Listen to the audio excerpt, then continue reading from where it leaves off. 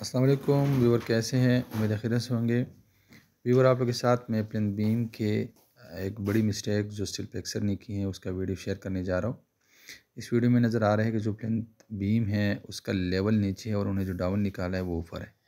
तो इन्होंने ऊपर से इसको बेंड करके नीचे के साथ टाई किया जो एक बहुत बड़ा मिस्टेक है और बहुत बड़ा ब्लंडर मारा है स्टिल फ्लेक्सर ने।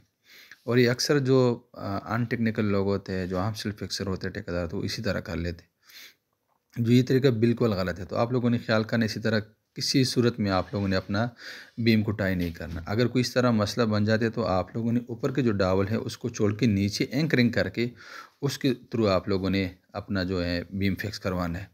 अगर इस तरह करेंगे तो एक बहुत बड़ा नुकसान हो सकता है और आप लोगों का जो ऊपर दीवार है, उसमें क्रैक आ सकते हैं और नीचे आपका जो ये बीम है, ये बैठ सकता है, क्योंकि यह टाई नहीं है। तो आप लोगों ने कोशिश करना है कि इसी तरह काम किसी सूरत में नहीं करना। आप लोगों ने इसी तरह एंकरिंग करके अपना बीम निकलवाना है और उसको सही तरीके से फिक्स करना है। अब ये देखिए किस तरीके से हमने फिक्स करवाया तो इस तरह आप लोगों ने करवाना है। ये देख लें।